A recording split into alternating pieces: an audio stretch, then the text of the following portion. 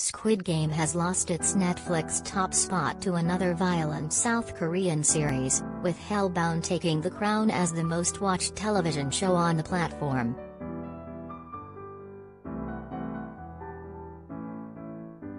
The fantasy horror series, about demons who hunt sinners and send them to hell, became the world's most watched Netflix TV series on November 20 for the day according to website Flix Patrol which tracks daily streaming figures.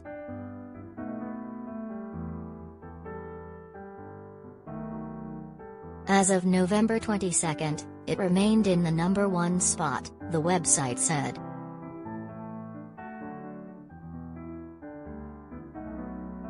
It topped the steaming ratings in more than 80 countries within 24 hours of its debut breaking Squid Game's 46 non-consecutive days in the top place.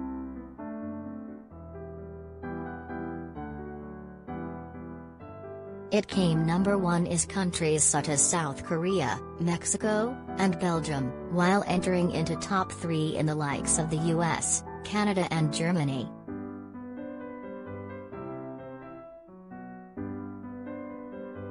Hellbound is about an alternate version of Earth overrun by monsters, and focuses on a group of demons who hunt down sinners previously visited by a celestial being that has informed them of the date and time of their death.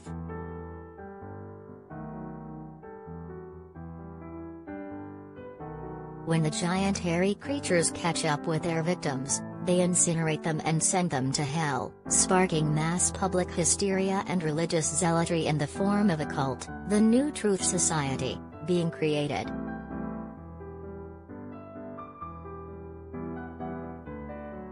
The pilot of Hellbound premiered in September at the 2021 Toronto International Film Festival, with the Daily Telegraph already likening its combination of mystery and horror to the Da Vinci Code and The Ring.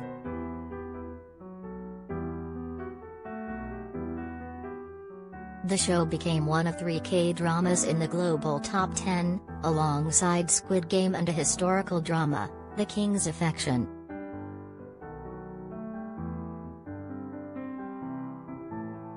Hellbound is the latest in a string of South Korean entertainment to break through into the Western market, and to gain global popularity.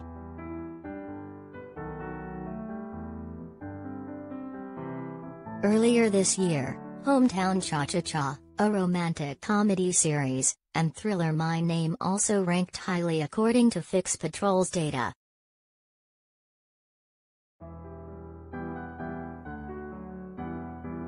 In October alone, an estimated 142 million households across 94 countries watched Squid Game, which is also known for its ultra-violence and gore.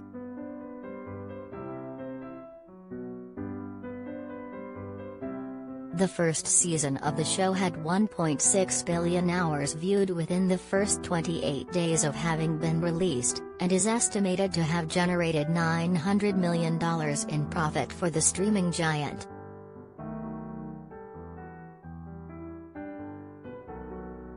Earlier this month, the show's director Hwang Dong-hyuk confirmed that a second series of Squid Game was on its way.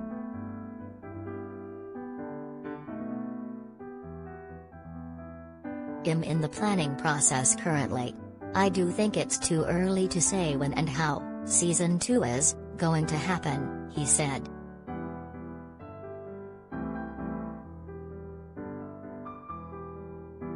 There's been so much pressure, so much demand, and so much love for a second season. So I almost feel like you leave us no choice, he added.